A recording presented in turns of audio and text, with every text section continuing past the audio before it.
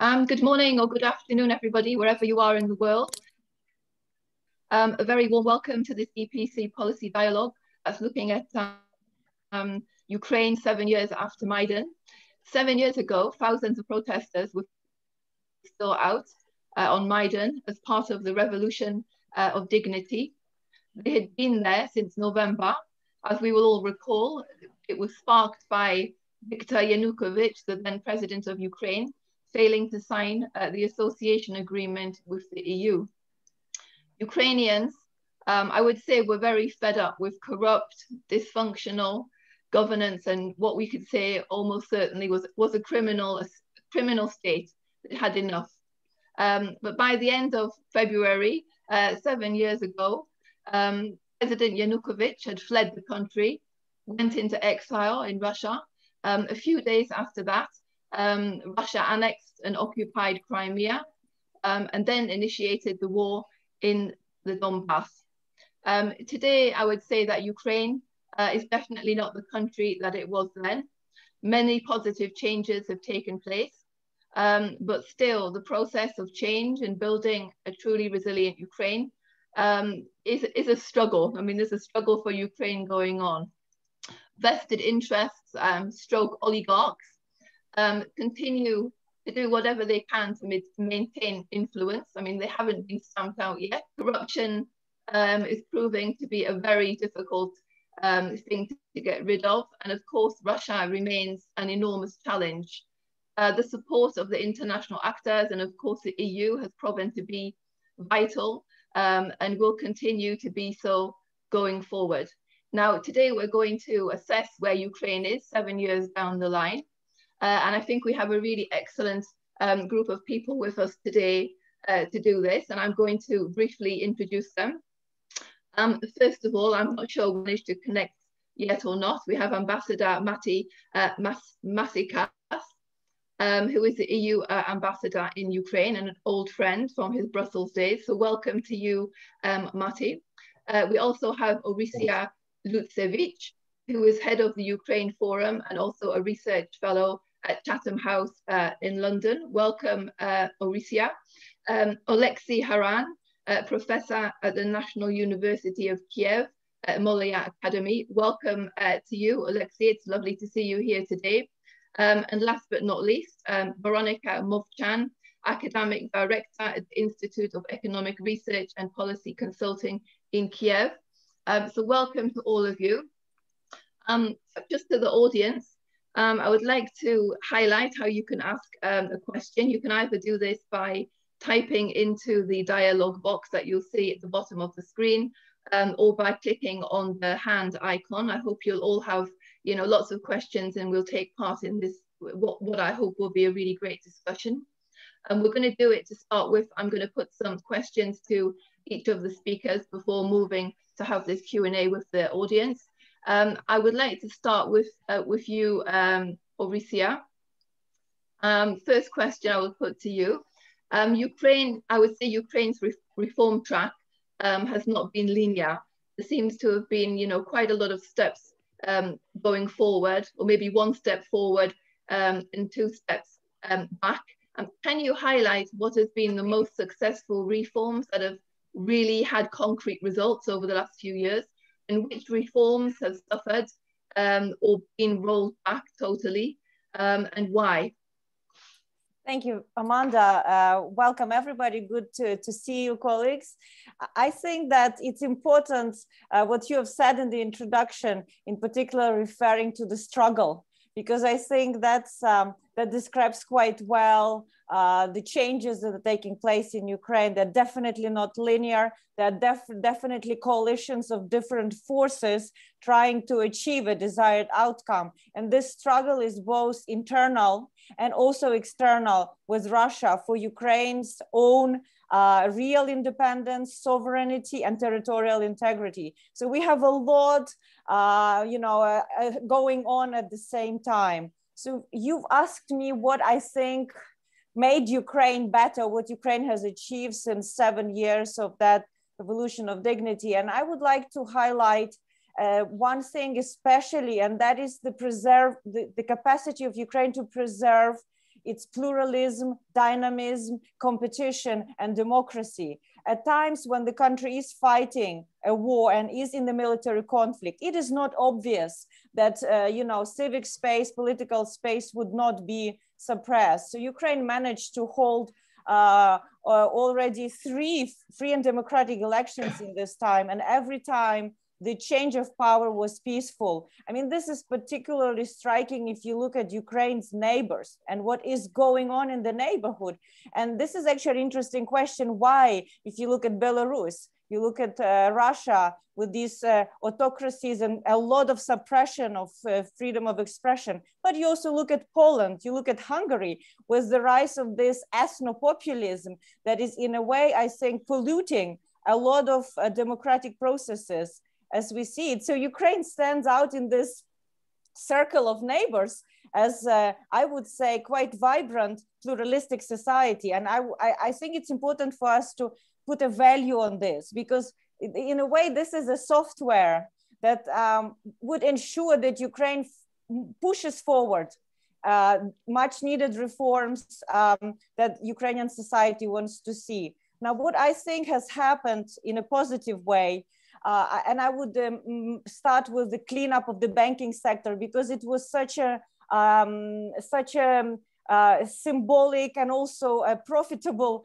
uh, thing before. You know, they would say in Ukraine, if you want to rob a bank, you set up a bank. And Ukrainian banks were um, that they were tools for personal enrichment. They were not really serving the industry. And the fact that um, both President Poroshenko and President Zelensky reinstated the agency of a Ukrainian state uh, to defend justice, to defend Ukrainian economy against abuse of, um, you know, basically capital flight into offshore zones, robbing Ukrainian citizens. It's very important. Second, energy uh, reform and unbundling. Again, and I refer here both to Poroshenko and to Zelensky because there is certain continuity. Uh, Ukraine was gaining its um, energy independence, starting the reform of Naftogaz. If you talk to anybody from EBRD, they will tell you that prior to Revolution of Dignity, even any discussion about uh, organization like EBRD being involved in any reform or any restructuring of Naftogaz would be unthinkable. President Zelensky carried on and we have now the energy unbundling and that is that is very important process. Thirdly it's decentralization. And why is it important?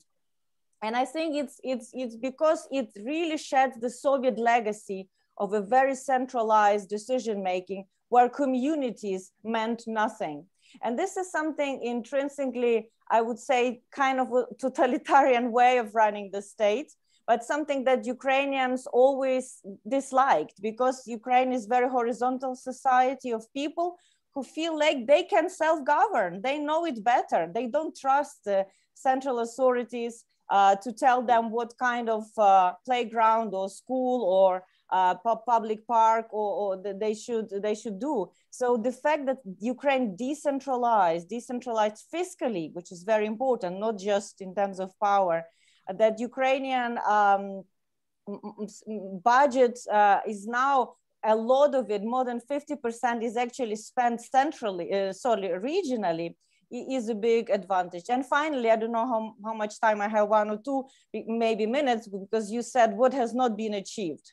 And what has not been achieved, I think in a broader sense, is, is basically the fact that the old system is still fighting, like I said at the beginning, and the fact that um, anti-corruption reform has stalled or the, these forces are trying to stall this reform, it means that Ukraine's justice sector and, and rule of law is, um, is one of the areas where we don't have all the answers how to go about it.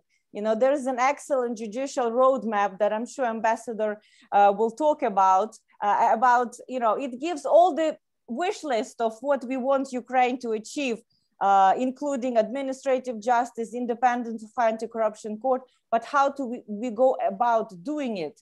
I think this is the, the stage um, of time where we have to think about it because it's not linear, it's not easy.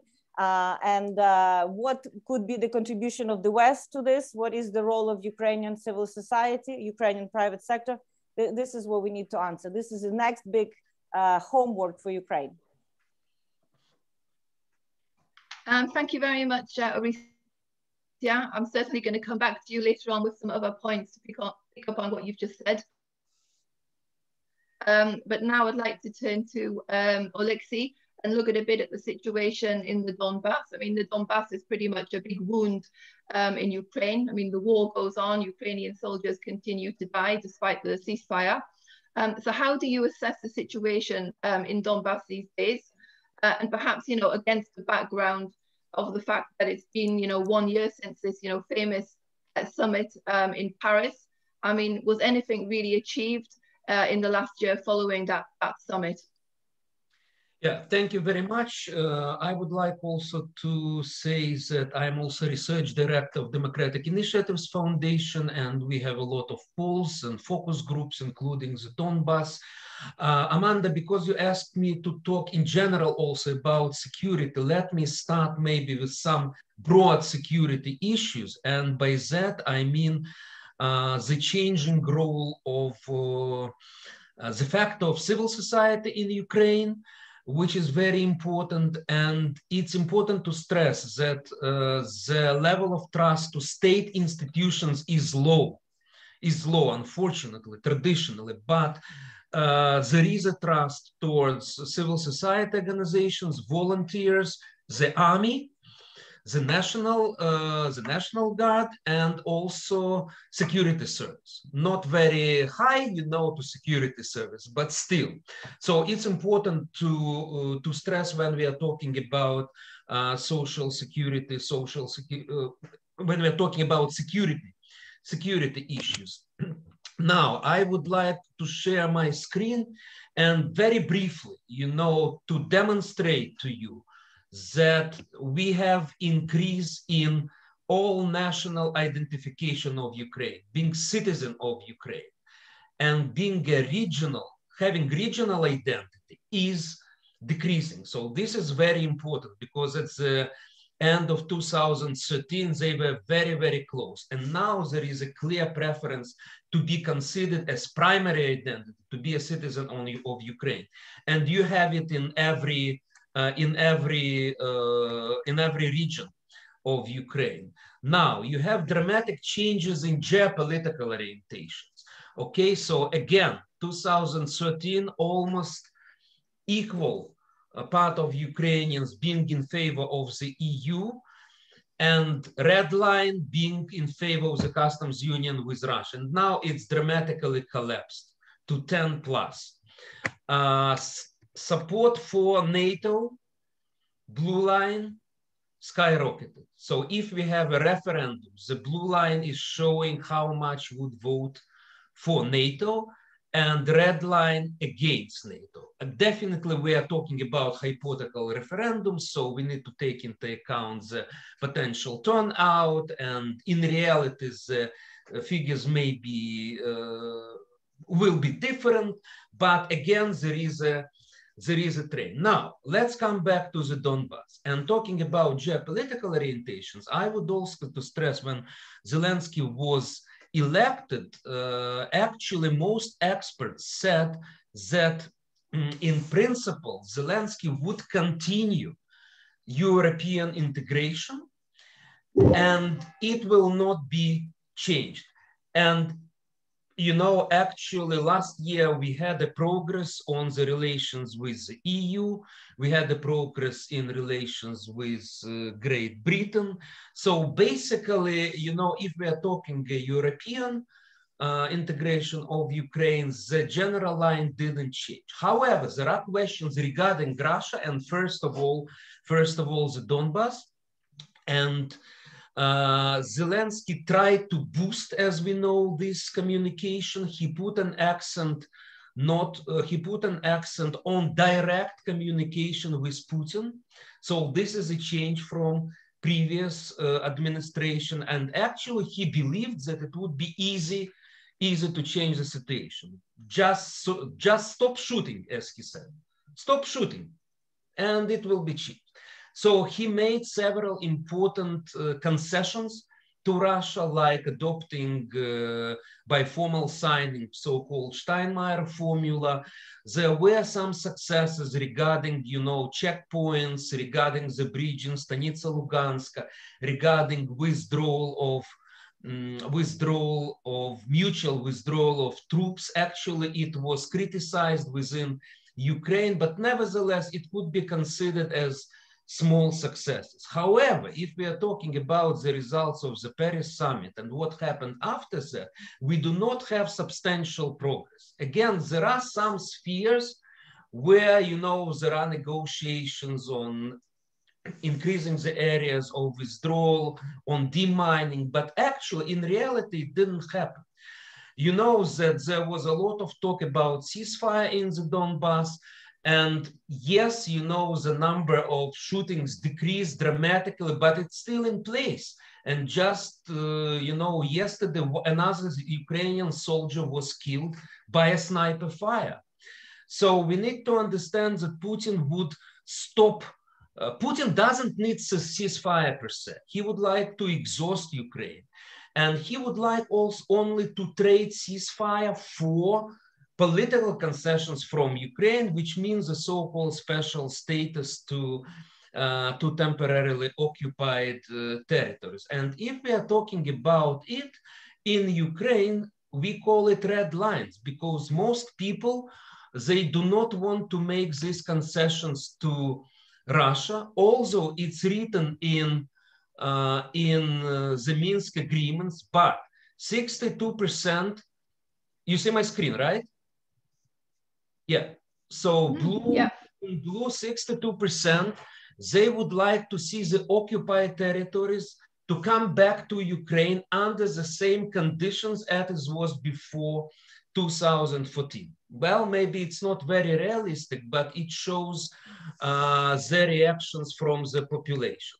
If we are talking about compromises uh, with Russia, regarding the war in the Donbass. So in red, you see those who are against certain compromises. For example, again, special status, 53% against. Full amnesty, 63% against. Uh, local elections in the present situation, which means Russia is exerting its control, still exerting its control over the occupied territory, 66%, and so on.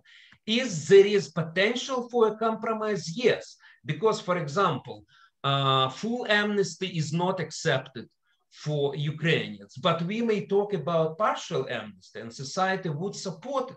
So basically we understand in Ukraine that the Minsk agreements, uh, they, uh, they were not favorable for Ukraine, especially regarding political concessions, but we can move forward if there is a will from another side, you know, to stop violence, to stop shooting. And in reality, we don't see them. So basically, the paradox is that what is happening right now, that in this situation, Zelensky is coming back to some sort of the policy which Poroshenko adopted, because Poroshenko also tried compromises at the beginning. Okay, so again, Zelensky made concessions to Russia, but there's no adequate reaction from the other side. So he need to take some tough measures. And these tough measures include the recent closure of uh, pro-Russian channels, so-called Medvedchuk uh, channels. Uh, let me, mm, okay, let me. Okay, so here you see the in green, you see that support for this decision, you know, to 49% increase within five days. Definitely it's not supported by part of the society. This is also important to be taken into, into account. So there is a division line within Ukrainian society. But what is interesting, so if we reformulate the question, so do you think that Ukraine could use sanctions if uh, activity of uh, some activity is against the interest of states, this of Ukrainian state. And you see dramatic increase. Green, green is dramatic increase. if we are fighting terrorist activity, you know even more. And you have this support in all the regions of Ukraine, from the west to, to the east. So it means that the recent decision, definitely it is criticized by uh, it is criticized by Russia, it is criticized by pro-Russian opposition in Ukraine, but I think it will be criticized by some uh, organizations like international journalist organizations, maybe Amnesty International, some other uh, organizations, but I think this is inevitable because we have war. And actually, Zelensky finally did what Poroshenko didn't. So we may analyze why Poroshenko didn't do that. So I think Zelensky put uh, decided to take very uh, important decision. And the question is to what extent he would continue this line, you know, becoming more tougher in negotiation with Russia. And there are dangers. And one of the danger, uh, I would remind you that on March uh, 11 last year, uh, the head of uh, chief of staff of presidential staff, Mr. Yermak, signed an agreement with so-called plenipotentiary representatives of the occupied areas. And this was never used by Ukrainian, uh, uh, Ukrainian diplomacy before. So there were huge protests in Ukraine and finally it was said, no, it's a red line and it was reviewed, the decision was canceled.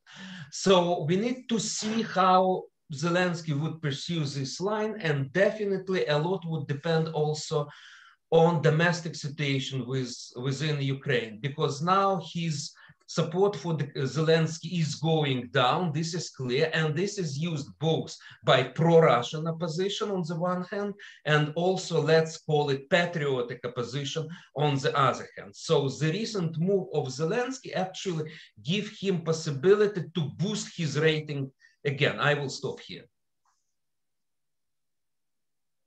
Okay, thank you very much, Olexiy. I think this was very interesting insights, not just on Donbass, but I mean much much more than that.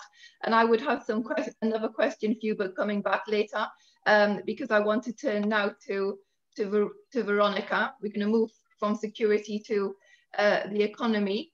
Um, and Ver Veronika, perhaps you could um, tell us what do you consider to be the most significant economic achievements you know, of the last few years. I mean, obviously, you know, I would say opening of IKEA in Ukraine is something that many people thought would never happen.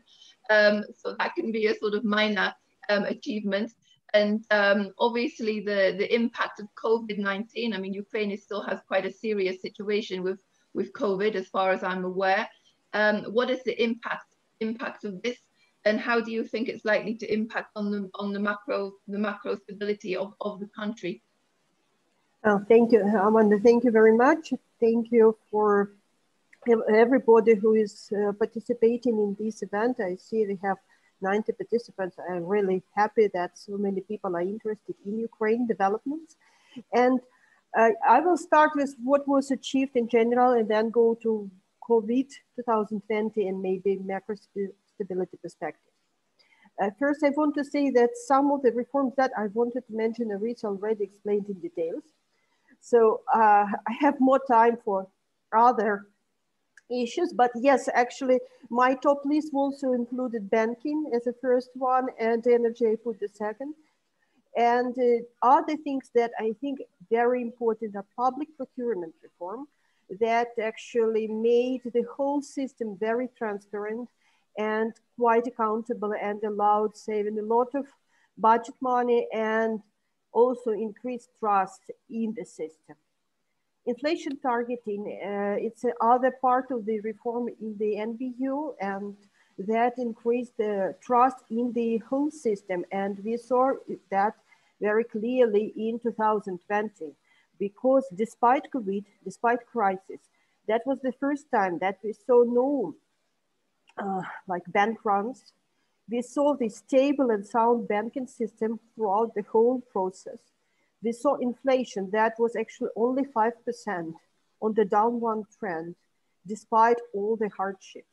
And the previous years of reforms is what allowed achieve this uh, stability basically and some predictability in the turmoil of the global crisis.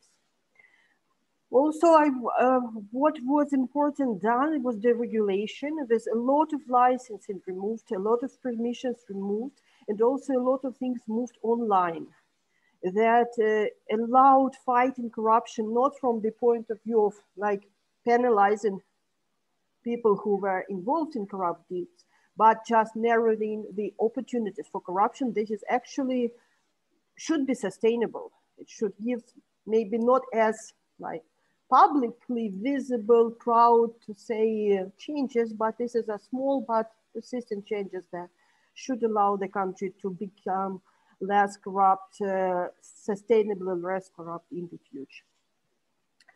Uh, and also, yeah, I fully agree with the energy. There's a lot of the regulation that completely changed the whole market there, especially in gas, and also stimulated energy efficiency. Yes, Ukraine is still very energy inefficient, but if we look at the uh, speed of changes, if we look at the long-term trend, Ukraine is probably one of the uh, fast energy efficiency increasing country at least in Europe.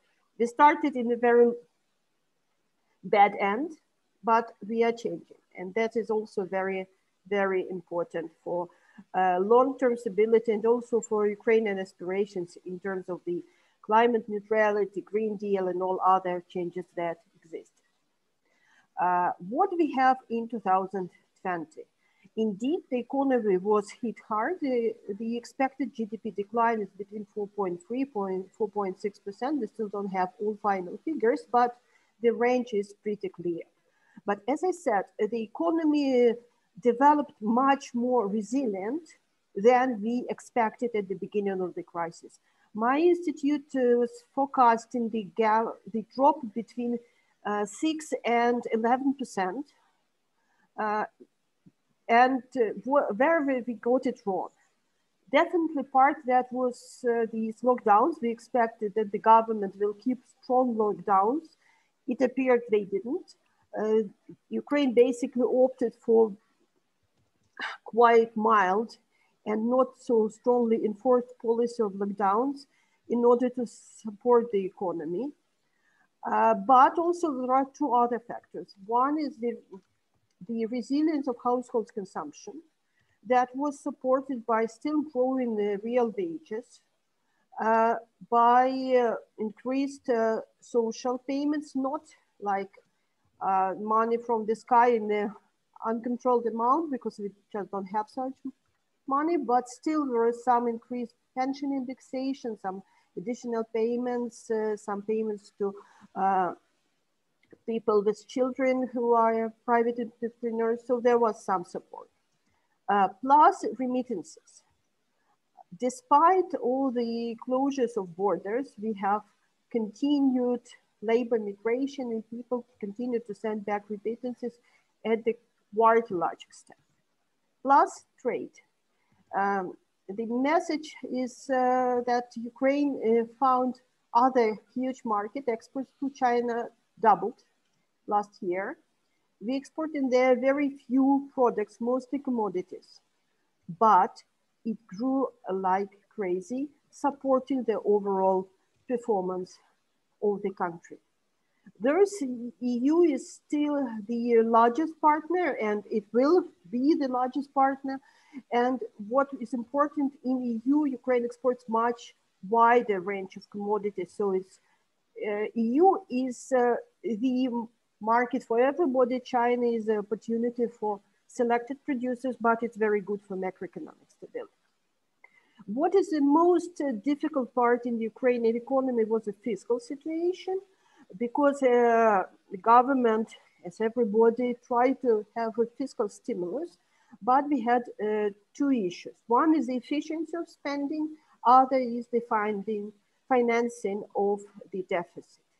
Efficiency, the biggest problem was with a so-called COVID fund, the fund established to fight the COVID, and we had huge debates on one hand whether it was correctly used because it was created to support, uh, first of all, healthcare system and some social payments, but eventually uh, almost a half of the fund, uh, not exactly half, but uh, one third, between one third and half was designated to construction of roads in the summer, uh, which was hugely criticized in the autumn. Then we had a huge spike and not sufficiently equipped hospitals, etc.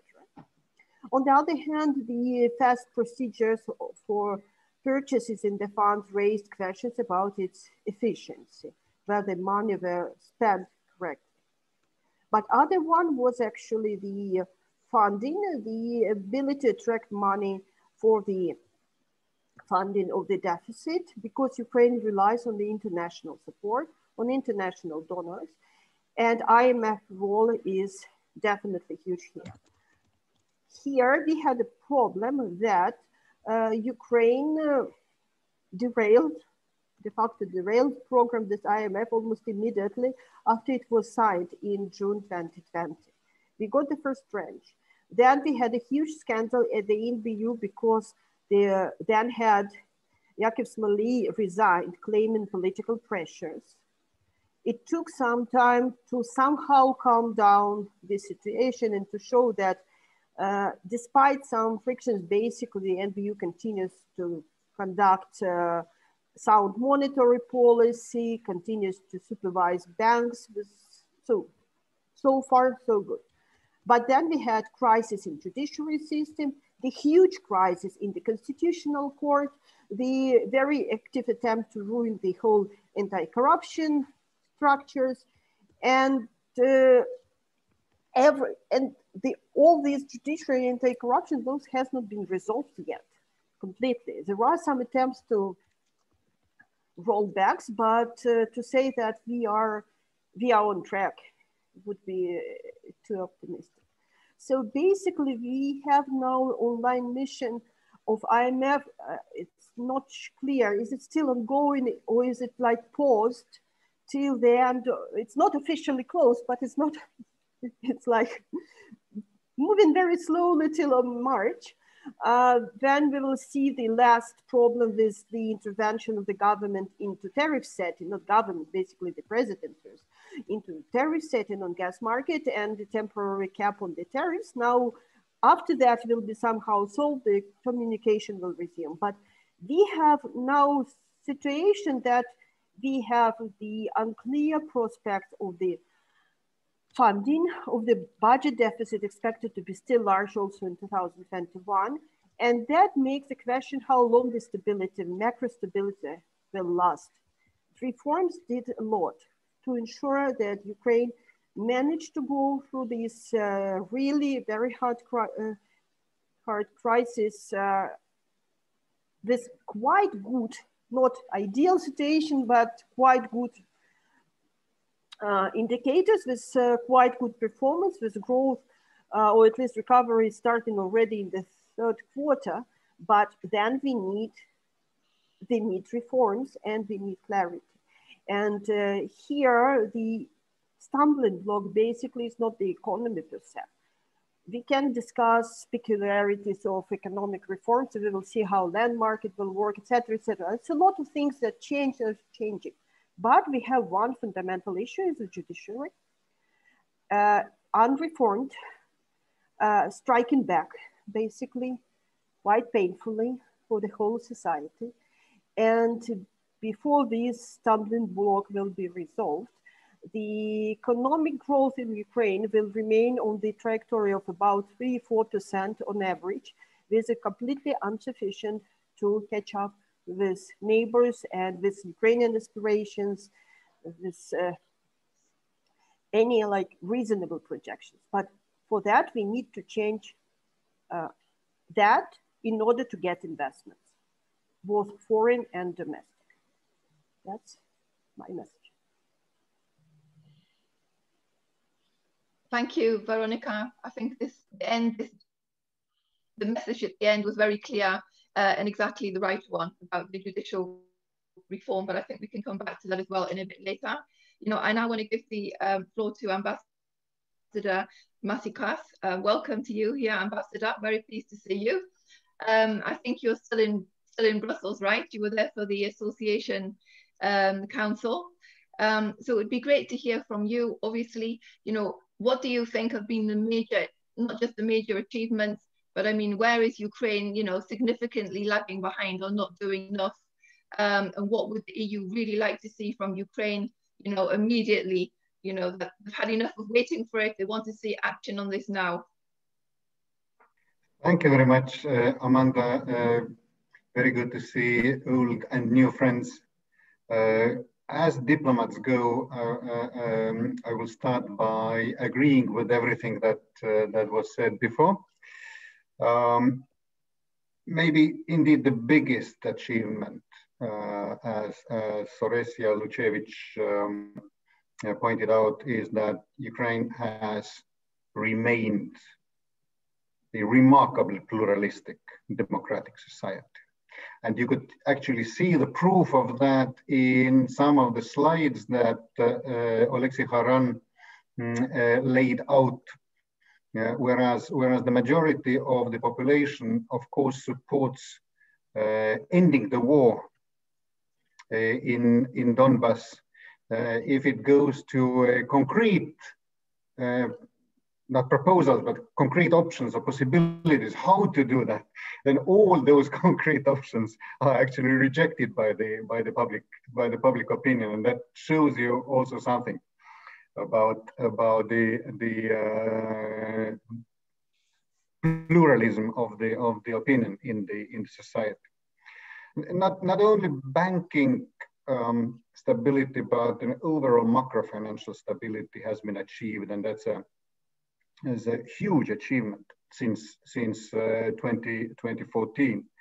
Um, mm, even in the horrible year of 2020, Ukraine's economy contracted only by 4%, uh, much less than was expected, and a, and a recovery is underway. And the cooperation with international financial institutions has been, has been maintained. Um, this is this is all good news.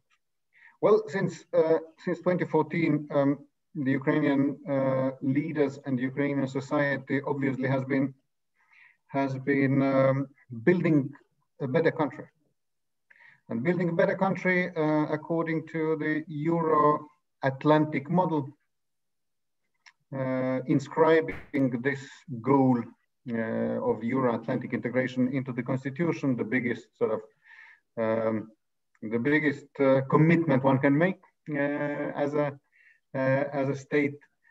So we are what we are facing these days in Ukraine is the biggest geopolitical shift in Europe of our days. And of course, that's why it is so fiercely opposed by some not least uh, by, a, by a neighboring country. Um, the EU has, uh, with its association agreement, provided a blueprint for this shift, a blueprint for the reforms uh, in Ukraine. And it was, it was uh, once again reconfirmed yesterday at the, at the Association Council uh, between the EU and Ukraine, and at Prime Minister uh, Denis Shmyhal's uh, several meetings with uh, with the European uh, with the with the with the EU leaders.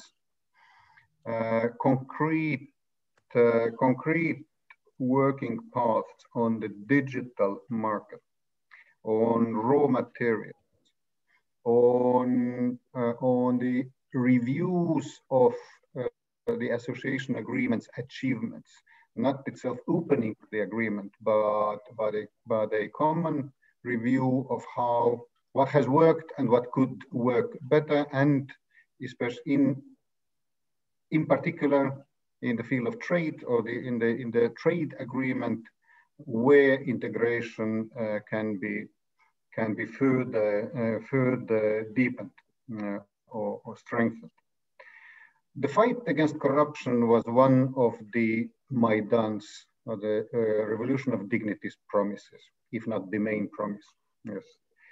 Um, in 2013, 2014, the Ukrainian society just proved that it has emancipated uh, enough to, to get rid to refuse to live under a crooked, corrupt regime. So everything corruption related or fight against corruption related remains extremely important and the new uh, institutional architecture has started working, of course, not as quickly as people would want people, and it's humanely, I understand, people want to be, uh, want to see big fish being jailed, but those institutions need to have the time and independence to work, to work uh, properly. Um, in the fall of 2020 or in, in the summer 2020, it seemed though that for the reforms and for Zelen President Zelensky's team was in sort of a um, situation like, like you sometimes have in theater, where the premiere uh, goes very well with enthusiasm and everything. And then for the second act, you need to you need to gather yourself once more. It's all, already a routine, and it's it's it's it's um, mm, uh, harder to find a new motivation. But then this major blow by the Constitutional Court of Ukraine mm, hit in. And, and not only uh, not only Zelensky and his team, but the whole political elite understood that that uh, each and every reform, each and every uh, achievement can be overturned, sometimes on a dubious grounds, very easily. So, and, and that mobilized the leadership again, and that again turned the focus on, on what, uh, what High Representative Josep Borrell yesterday at the press conference called the mother of all reforms, namely the judicial reform. Uh, it's not only it not only sets the checks and balances in society and provides for trust mm, of the citizens, uh, but it's also uh, become uh, the judicial system, unreliability of the ju judicial system has become the number one obstacle for foreign invest uh, investment in, in general, including, including uh, foreign. So the justice reform has become, I mean, constitutional court's uh, decisions were a clear challenge to Zelensky and to the, to the pro-reform um, political elite. And it, it is about staying, staying the course. All is something that has not been done in Ukraine for 30 years, for the whole, whole time of their independence.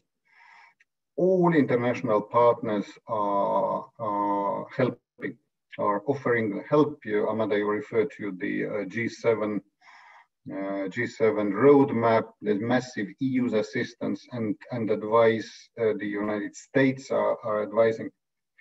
Uh, and to end with, the clear advice is not to try some piecemeal solutions here and there, start to uh, start to fine tune the constitutional court uh, by, by filling some vacancies um, not to not not to try not to try one institution here and the other one there, but but to go for sweeping comprehensive judicial reform at the center of which should be the reform of the High Council of Justice, the body to administrate the courts, the body to nominate the judges, which is completely unreformed. If the High Council of Justice can be reformed and the High qualification commission for judges and ethics committee with transparent procedures could be established. That will be the most important thing to do. That would be the litmus test, not only for the judicial reform, but for the reform course in general. Thank you. Thank you, um, Matti. Maybe I can just, you know, have a small add-on point. Um, sometimes there's talk of EU fatigue towards Ukraine. Um, do you feel there's any such fatigue, or do you feel that the EU as a whole continues to, to stand, you know, shoulder to shoulder without question with Ukraine? We always have questions. and one must always have questions. That is, that is clear. Um, in political terms, it's the political capital of the EU democratic leaders that is being used uh, in this relationship. And uh, in terms of assistance, it's the EU's taxpayers' money that has been that has been spent uh, 16 billion since uh, 20, 2014. Mm, so uh, we we always have questions. I think it's it's proper to quote the uh, previous Commission President Jean-Claude Juncker, who, who who put it very simply. The more the more Ukraine reforms, the more we we support, and and that that stays that uh, stays true today as well. Uh, Orysia Lutsevych uh, brought the example of the decentralization reform, something that, that the EU has uh, supported and is supporting with, with almost 150 million euros and which is uh, um, a big, a big success. Of course, if one looks at the, um, at the region, if one looks at the Eastern Partnership countries, then one one finds the the uh, now a bit silenter but still the revolution in uh, in Belarus. Uh, uh in last autumn, a full uh, or all-out war between or around Nagorno-Karabakh, and so on. the Ukraine is is so big, and Ukraine's determination is is so clear.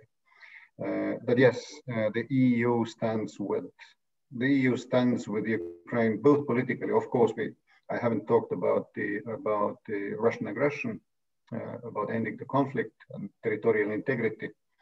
Uh, the EU is responding to the recent Ukrainian uh, initiative of the Crimean platform, uh, quite rightly uh, aimed at raising the price the political and diplomatic price for the for the legal annexation of Crimea. Because uh, uh, you could see, you could have seen uh, in recent years that whereas whereas on on the conflict in Donbass, you you still have a a process or a framework. then the Crimean issue uh, got less and less international attention. And, and, that's a, that's a welcome and uh, quite justified uh, initiative by by Ukraine, the, the platform. Thank you. Thank you, Ambassador. Uh, I'm going to put another question to each um, panelist and then we'll come to some of the audience questions. I'd like to encourage the audience to, you know, put their questions across because I can see there's not that many um, and I think there should be many more. So please get typing. Um, so uh, uh, I'd like to come back to this topic of Russian um, propaganda in the information space. I mean, it was just mentioned about the free um, media outlets that were closed down um, by uh, President uh, Zelensky, but I'm guessing this is just the, you know, the tip of the iceberg. Um, what do you think could be done more um, to, you know, to rid Ukraine of this real security threat? Thank you, Amanda. And I think it's it's a very important question because uh, as I was, I started talking about the importance of democracy, as much the uh, information space is important for democratic society to be able to judge policy, right? Because that is the famous phrase. We may maybe we not we not all can make policy, but we can judge policy. And if you have such a toxic information space, uh, like in Ukraine, that is a mixture of uh, TV channels and media uh, and online outlets owned by uh, different big financial interest groups, the way we call them, or vested interests, because I think the, the oligarchy where you would see an immediate capture of power is not necessarily the case in Ukraine. They are exercising power by proxy. And here, Russian proxy power is exercised through media and Ukrainian groups who are against some of these uh, reforms that will create more level playing field uh, will um, uh, want to exercise this power. So, you know, I think there is a new momentum with this decision to uh, limit the supply of this information and limit the supply of um, news. Uh, it's not even a news. It's it's very often you know really comes from the uh, Kremlin propaganda playbook. Uh, uh, the messages that are really discredited the nature of the office of the president, regardless who is the president, the uh, whole democratic institutions and Ukraine as a viable viable state. and I think Zelensky, by doing this, I would like to again bring the international dimension, the US, new, the new US administration and Biden, because clearly uh, the, the three most important decisions that Zelensky took to open up a new chapter in U Ukraine-US relations was uh, sanctioning uh, uh, those individuals who were put uh, for uh, their pro-Russian disinformation of Biden on the sanction list, like Dubinsky, and excluding him from the party fraction. It's also sanctioning Chinese investors that were trying to acquire Motor Sich. Uh, finally, that decision uh, came to bear. And finally, what we spoke about these three TV channels. So all of this means that Ukraine wants to really uh, have a serious strategic relationship with the United States, supporting um, the vision that disinformation misinformation, uh, uh, the weaponization of information is dangerous. And uh, Biden, President Biden was very clear uh, in his uh, kind of first close foreign policy discussion at the State Department that Russia will be held accountable. And for uh, that to happen, it's not just United States, the European Union and other international partners who have to play a role. It's countries like Ukraine who has to get their house in order and clean up. And, and here I, I would like to you know maybe link it back to corruption because i found this quote quite striking. And listen to this what what now president biden said when he was the vice president in 2017 he said russia over the last decade has used another foreign policy weapon. It uses corruption as a tool of coercion to keep ukraine vulnerable and dependent so pursue those reforms, he said to Ukrainians in Kiev, to root out corruption. It's not just about good governance. It's about self-preservation. It's about your very national security. So you can imagine what kind of conversation President Biden will have with President Zelensky when happens. And I think that um, there could be uh, quite a good uh, array of cooperation between Ukraine and United States and for the same matter, European Union that is now pushing its own Defense of Democracy Act, where it's really now defining what is this information because do we really know what it means in legal terms? Do we have uh, a clear definition uh, of it? No, we don't. We're operating on a very slippery ground. Um, and here I think what offers an, another opportunity uh, on this info warfare ground is NATO enhanced opportunity partnership that Ukraine has and its cooperation within NATO and broader security framework to strengthen Ukraine's own resilience because the, I, from what I know, the next NATO summit will be about resilience, is trying to uh, understand you know, how to protect democracies, how to protect societies from um, disinformation. And if I may just offer one avenue where I think we all should be doing more, Ukraine, US, EU, is actually working on the demand side of disinformation. Because it's always a good question to ask why our community citizens are drawn to these information sources. Why do they remain in these bubbles? And it's probably because they feel comfortable there because it touches on their grievances, something they are dissatisfied in the societies, something that would probably need a serious um, avenue to bring different views together to discuss and find compromises rather than staying in these comfortable information bubbles. And it's of course education of young children, adults, how to have a good information hygiene, you know, how to distinguish different sources of information. Uh, and I think that um, actually European Union and US is helping a lot Ukraine to um, introduce some of these um, courses. And I know that the Ministry of Culture, uh, there's the deputy minister who is in charge of um, unrolling such program uh, in different schools. So this, I, I, would just want to highlight to you there as an answer to your question. Great, thank you very much, um, Now I'd like to turn back to you, um, Olexiy, um, again on security related issues. I mean, we already mentioned a bit the Donbass, but I would like to bring us to um, um, to Crimea, which is um, just an equally as equally important. You have this new initiative, Crimea platform. Um, do you think this is going to bring any fruit?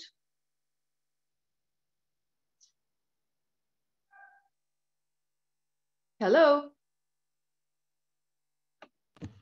Olexiy, are you there? Yes, yes, I'm, I'm here. I was too disciplined, you know, to switch off uh, my voice. So, uh, okay, uh, thank you very much. Actually, Amanda, I think the answer to your question is not in Kiev. It's actually in the West, and in the Western capitals and our international partners. So the question is because definitely what Ukraine is proposed to to have Crimea uh, on the radar screen, not to forget about it, to increase monitoring of the human rights, uh, not only Crimean Tatars, but also Ukrainians. So it's very, very important, but I think uh, we cannot do a lot here without support of our international partners. And if I may, I would draw the example when uh, Ukrainian sailors were attacked by Russian battle, but Russian ships in uh, in Kerch Strait. Okay, and what were the sanctions from the West? Several people, you know, they were called to sanctions, but basically, the you know, it was a huge accident, huge violation of international law, international sea law. But the reaction was quite uh, uh, quite mild. Having said that, I am appreciating and I am uh, the Western, the Western support to Ukraine, and I believe that uh, EU is standing with us and the United States against aggression of Ukraine, but some steps could be much more, much more tougher. So a lot. So again, I think the idea of Crimean platform is uh, is is very important. Uh, again, uh, there should be more support, more support to uh, Crimean Tatars, to other people in Crimea. Again, monitorings from different human rights organizations, resolutions in support of those whose rights are violated in Crimea. Um, again, but here we need to be realists, okay? So we understand that there would be no immediate fruits uh, I would like, because you asked about Crimea, and I would like again to say here about the approach of Ukrainians toward occupied Donbass, parts of Donbass and Crimea. Uh, Ukrainians are not bloodthirsty. It means that we are not only rejecting some so-called compromises which are supposed, which are offered by the other side, by Russia, uh, as, I, as I said, Ukrainians are against full amnesty, but we are in favor of partial amnesty. Ukrainians do not view people in the occupied territories, both Donbass and Crimea, as traitors.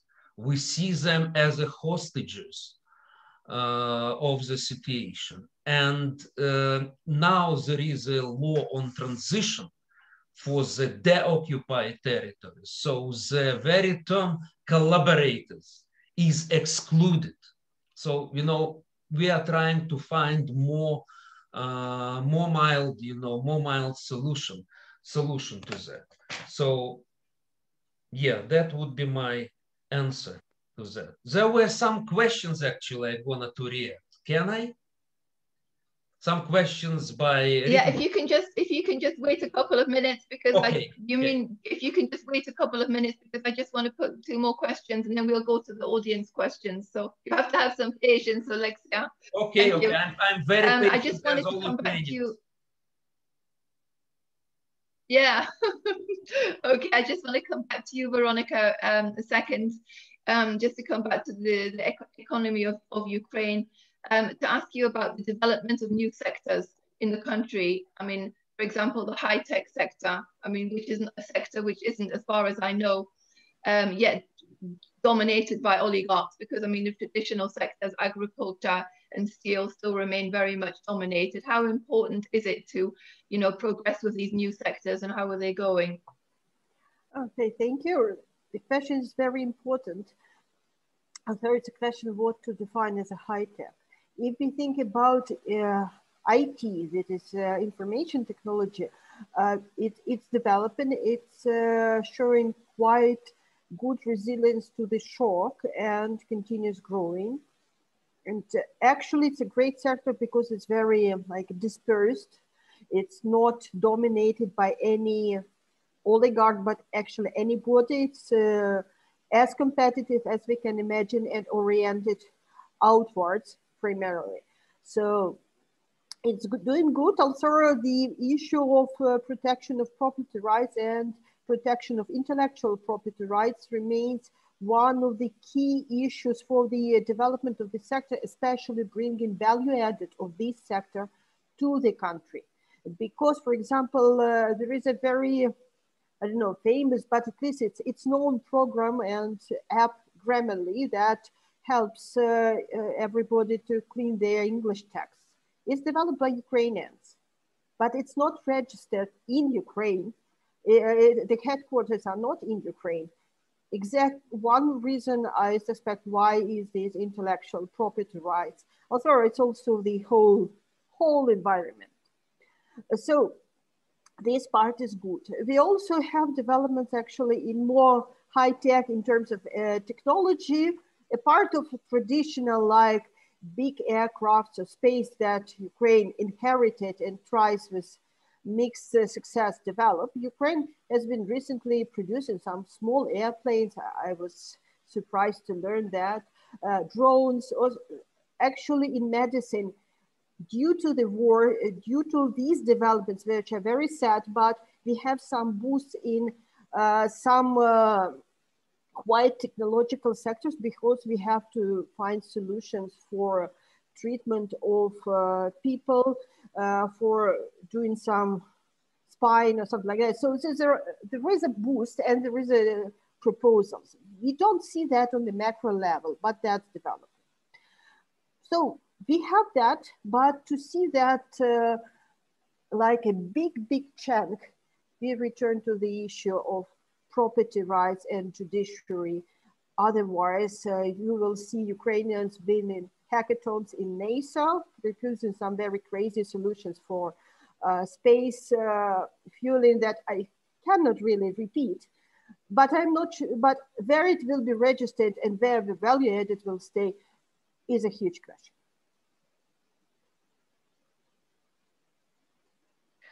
Great, thank you. Um, now I'm going to start to pick some of these questions from the audience because I see that one of the questions here is very relevant, first of all, to, um, to uh, Ambassador. Uh, so I'll take that one first, who it's from Pat, Cox, I believe the former president um, of the European Parliament, and he's, he's referring to the recent EP um, re resolution adopted on Ukraine, um, which emphasizes a return to the future of conditionality in respect to EU funding. Um, and he's asking what specific key conditions will the EU propose and with what milestones? Um, and secondly, what are the next steps foreseen in deepening EU-Ukraine relations and what perspective is the EU willing to offer Ukraine? Um, I think I give those, you, those to you specifically. He also has a third question, which I think is for everybody on the panel, um, asking the panel to evaluate Ukrainian attitudes to the geopolitics of accessing COVID vaccines. Floor is yours, first of all, Ambassador. Thank you very much. Uh, very pertinent questions um, indeed. All EU assistance is conditional. Uh, there are there are specific uh, there are specific frameworks, uh, specific conditions for for all the, for all the uh, cooperation that that we are that we are doing.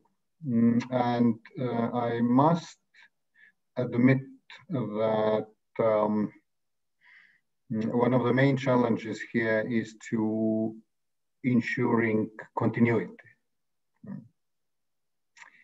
Decentralization is a, is a good example where the EU, EU had almost 150 uh, program in, in place and uh, uh, where the continuity has been has been maintained quite well with the with the change of president, change of the government.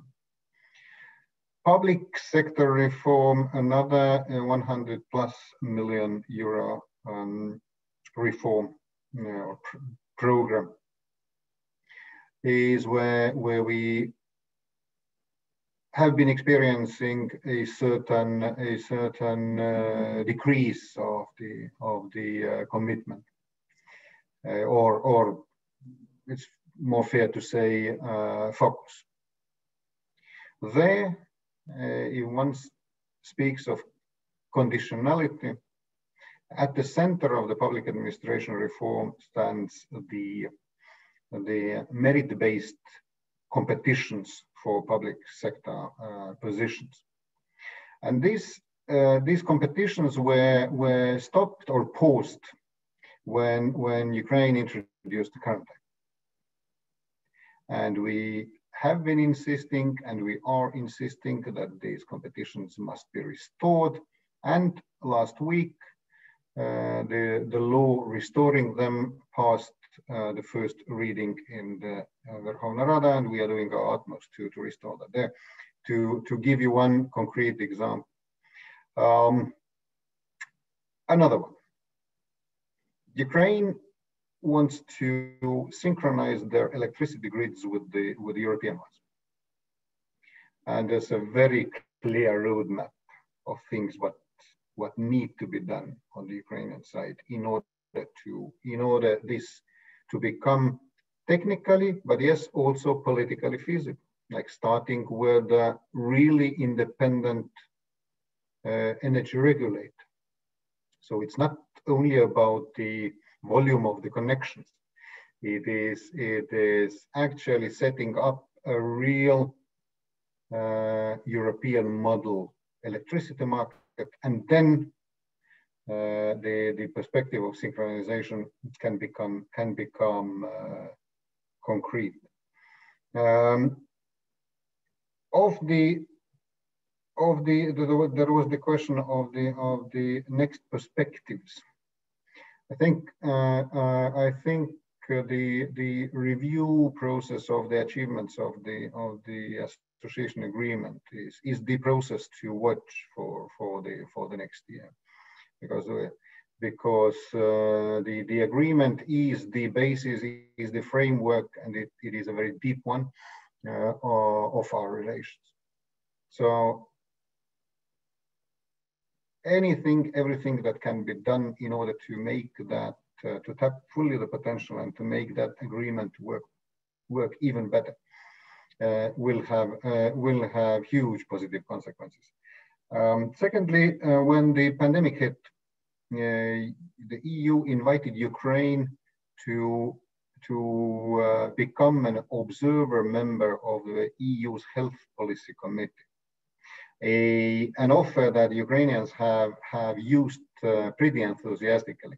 And that's another con uh, concrete example where, uh, where people, Ukrainians and EU officials are working together, seeing each other seeing each other and then get better used uh, to each other. So that's a, that's a very not only practical but also a humane uh, factor. Thank you. Amanda, if I may jump in on the question of Pat Cox about the geopolitics of the yes, vaccine, absolutely. because I've, I've um, I have the latest polling on the attitudes of Ukrainians to different vaccines and trust, and actually it reflects pretty well the Ukrainian geopolitical map. You have the majority of Ukrainians trusting vaccine produced in US, uh, UK and Belgium. And then you have trust to Russian vaccine about 12% and trust to Chinese vaccine 6%. So you, you can see where Ukrainian hearts and the uh, understanding of the quality of the product is. Uh, it's actually very important what ambassador said about delivering on these partnerships and expectations through engaging Ukrainians either in this public health committee, because it's always, you know, the Eurosceptics and anti-European forces always use the same mantra, but, you know, you may want them, but what it is they're giving you. And, you know, you can say it's a legitimate question. And I think there is a good answer to that question. The problem is, you know, strategically messaging that answer and making sure why the Ukrainian uh, audience knows what it is in these concrete terms Ukraine is, is getting. And, and I think that um, vaccine in COVID is used as another narrative in the disinformation war. We see it actually Russia doing it, China doing it, uh, and it's a public health issue and it's so important so important for uh, for uh, you know Ukraine and European Union because Ukraine is one of the largest neighbors of the European Union right here with a strong exchange of people. There's a lot of exchanges going on, cross marriages, families, people doing circular labor migration. So I think it's important that both sides understands the benefits of uh, uh you know um, uh, effective vaccination program. It will only make two sides stronger. Thanks, um, Orysia. I'm going to put the, this next question to you, um, Olexiy. It's from Dimitro Shurko um, of um, Ukrinform News Agency, and he's he's asking about the visit of Borrell and the humiliating, um, what he calls the humiliating humiliating behavior of Foreign Minister Lavrov. Um, he thinks it makes it clear Russia has no intention of political will to respect neither EU nor Ukraine's interests. Um, so he has two questions. What could be the way to prevent Ukraine from becoming a sanitary grey barrier between Europe and Russia? Um, and secondly, can we expect, after all, the wise approach of all democratic forces in Ukraine to unite themselves in a face of the growing Russian threat, not cheating and disgracing themselves in front of each other?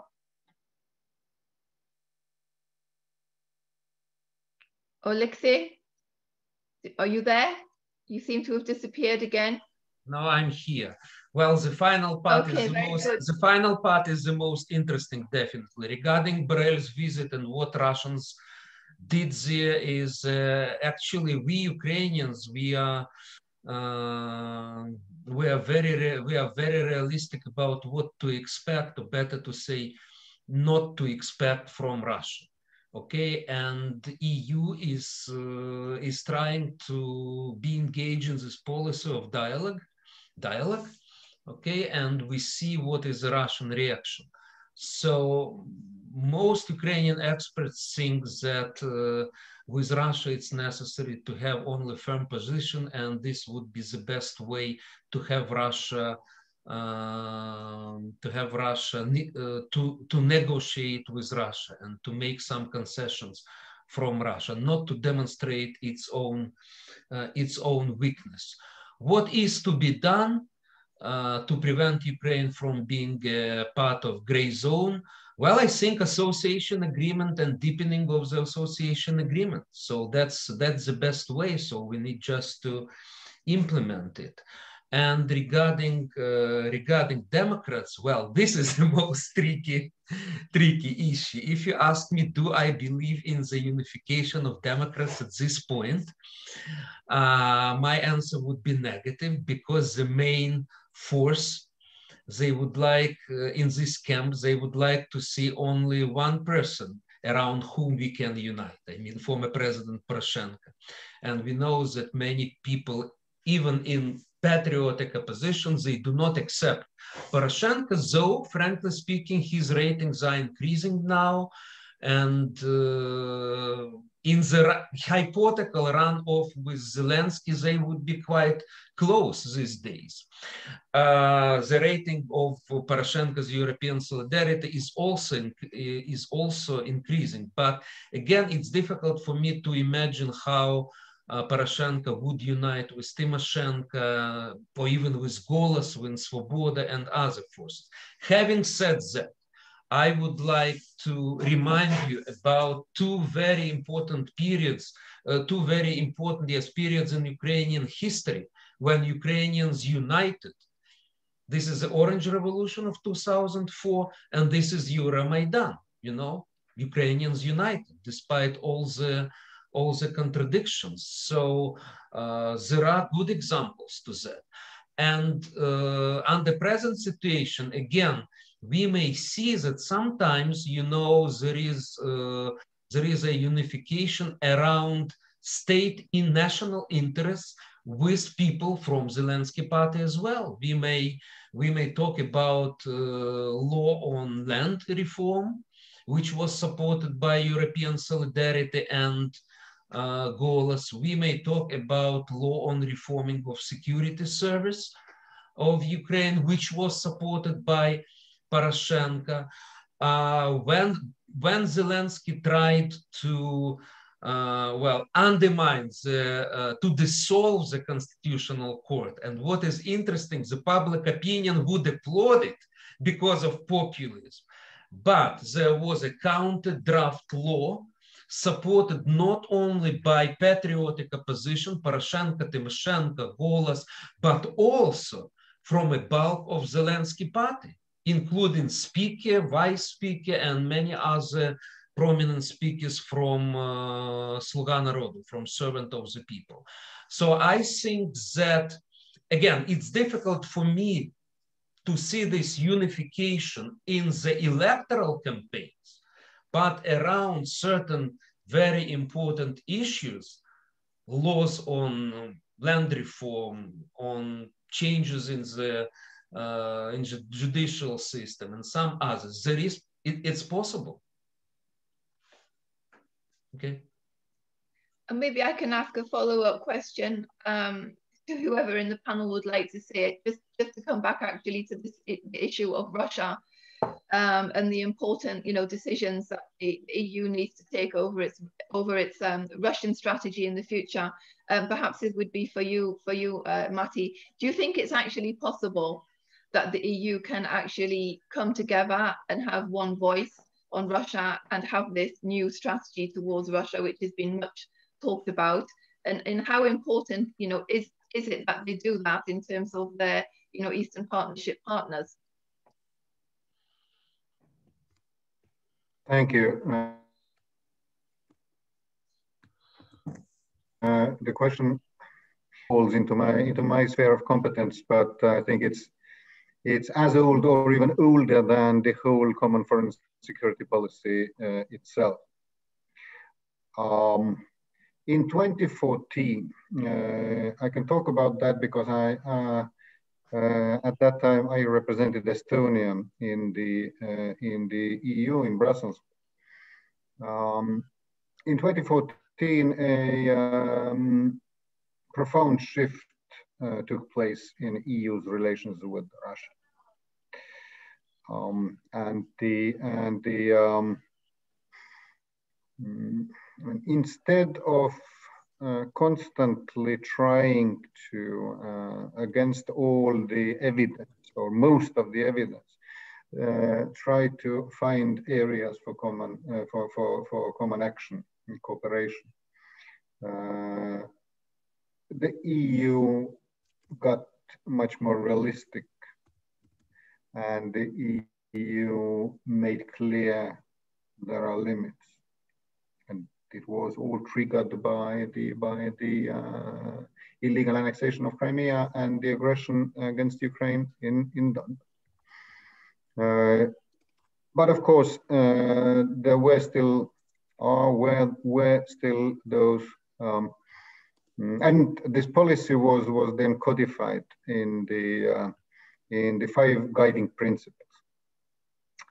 And just to just to uh, illustrate the the uh, the profoundness of the shift, if if somebody had told me even ten years ago that the EU puts its policies towards Russia dependent on how Russia treats its neighbors, how Russia treats Ukraine, I would not have believed.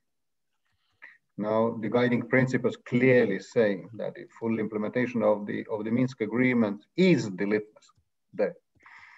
So, uh, uh, but um, I think to to cut the uh, long and not fully my story short, uh, I think after last after the last week's visit, there some still remaining questions of the of the possibilities for for meaningful engagement were answered in Moscow in front of all of us. If I may, Amanda, jump in with a suggestion. I, I think what is important is to understand that when we are talking about EU policy towards Russia, of course, the top level official policy is important because it provides leadership. But I think there's still much work to be done about societies in the European Union member states understanding the dangers that are coming from Russia. Because, you know, uh, uh, why is the disinformation dangerous? You know, why, uh, why, um, you, why, for example, UK audience should know what Russia did in Crimea and how it um, how it ran this hybrid operation is because Russia will abuse their own vulnerabilities in their societies. And I was struck recently to read about the uh, charitable foundation to defend environment that was set up in the uh, federal land of Mecklenburg, West Pomerania, exactly the ending point of Nord Stream 2, was the budget of 20 million and 200,000 where 20 million is provided by Gazprom and 200,000 is provided by the budget of the local federal land. And the local officials are defend, federal officials are defending this decision as illegitimate, that Gazprom will actually help preserve environment in their federal land. And you see, these are the tools that Russians are using. So regardless of a top level strategy, I think it's very important also to understand how Russia uses this subversion from the inside of European societies. Thank you, um, Orysia. Um, we have a question here asking about um, about um, Zelensky. Is he truly independent of his own oligarch connections? Um, and when should Biden invite Zelensky to the White House? Um, who would like to who would like to take this question? Um, I, I may, I may Veronika, maybe you would like to take. No, I okay. No, I can, okay. I, I start. well, because the answer to the first question question is very short. No, he is not independent from oligarchs. He is dependent. That's clear. But at the same time, we need to understand that it's not it's not true to present him only as a puppet of oligarchs or especially as a puppet of Kolomoisky. So again, there is a group of Kolomoisky, of, of MPs from who, who, are affiliated with Kolomoisky within Zelensky faction. He appointed, uh, Zelensky appointed Dubinsky, uh, notorious guy, to be uh, responsible for Kiev Oblast, for example. So but at the same time, there are a lot of steps which uh, may demon which uh, demonstrate that Zelensky is trying to to distance himself from Kolomoisky. So uh, the constellation of forces is much more uh, complicated. Still, I would say that at this point, um, or at least until recently, oligarchs, they were quite uh, quite happy with Kolomoisky, uh, with Zelensky, I would say. But it may change, and it may change because also Zelensky demonstrate his um, he's not effective. His ratings are going down. So who knows? Maybe the so-called oligarchic consensus will be around another candidate. We don't know. Zelensky still has chances, you know, to be re-elected, but uh, but there are many many questions. And the basic question for me, whether in this situation Zelensky would, he's not a radical reformer. Well, he had in mind that he would be a radical reformer for the country, but he is not.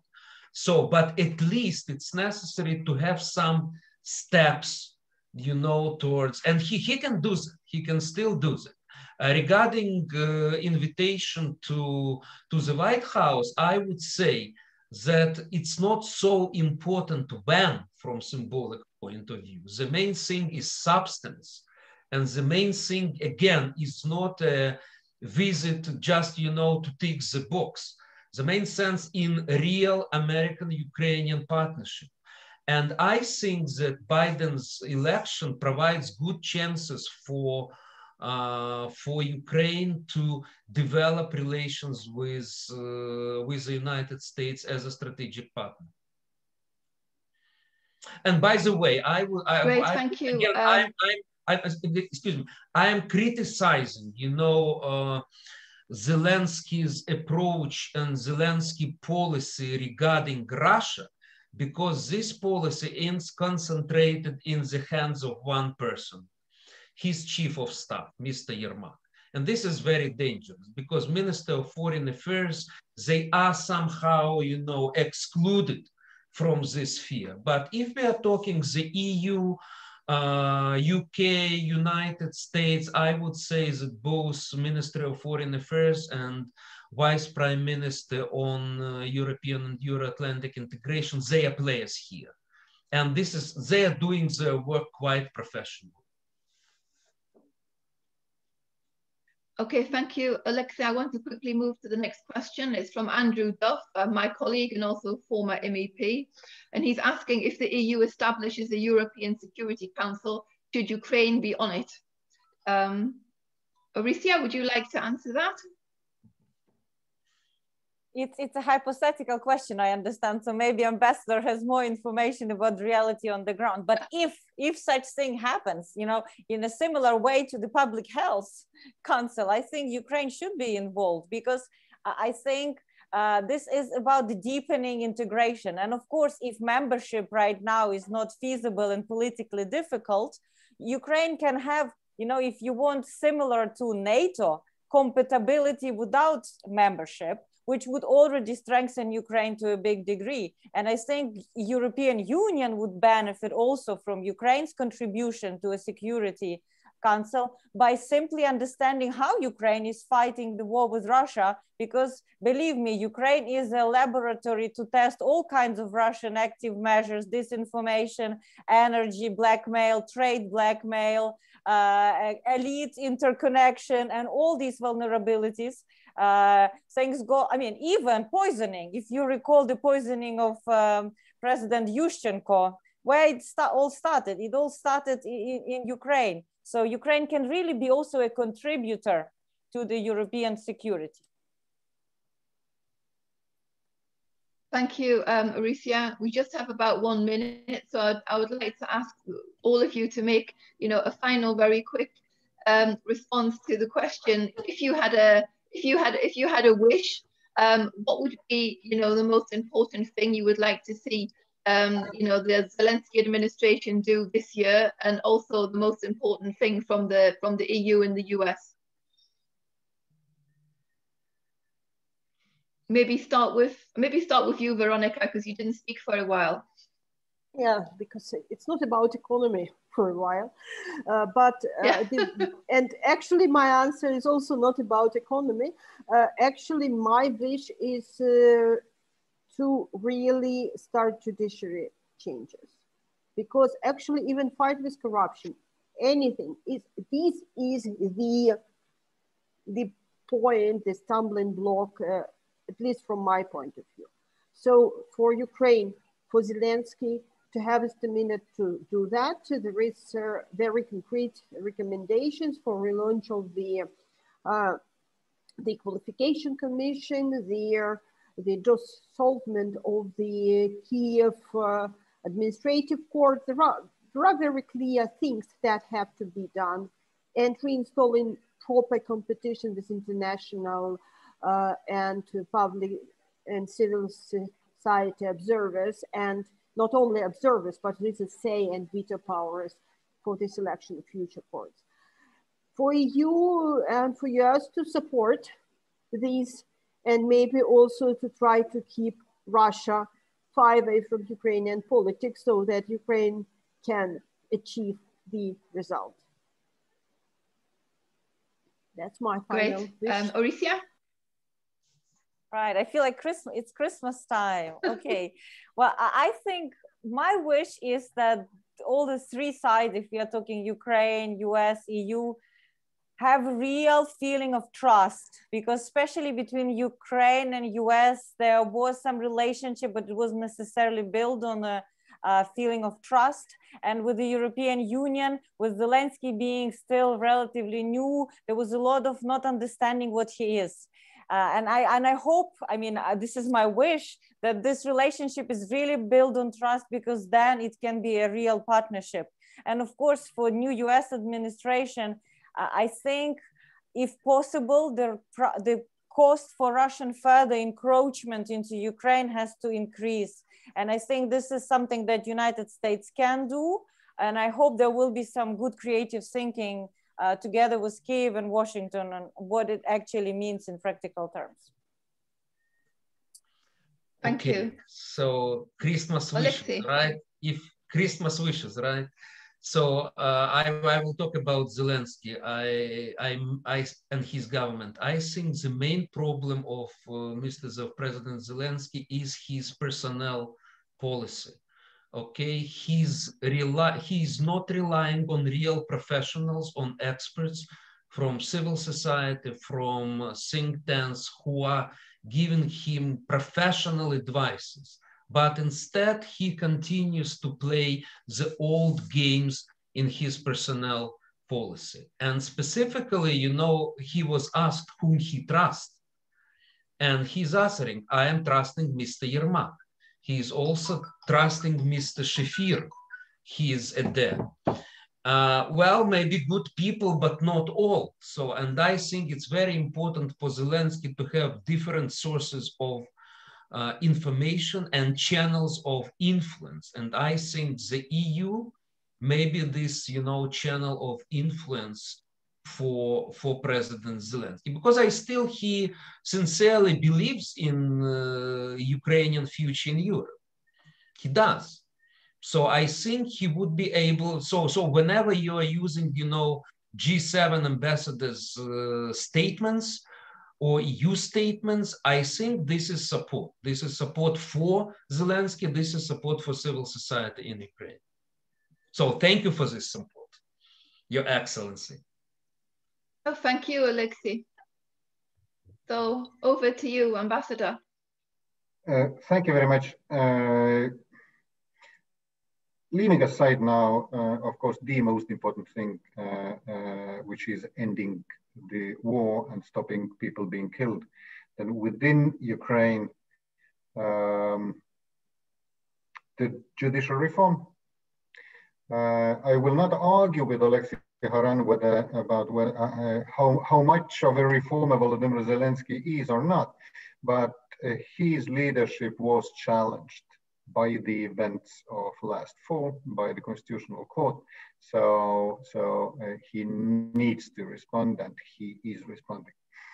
Uh, on the uh, on the on the um, external front, I would only say my wish is for the EU and US coordinating under the Biden administration, and then together be a bit more proactive on Ukraine. Thank you.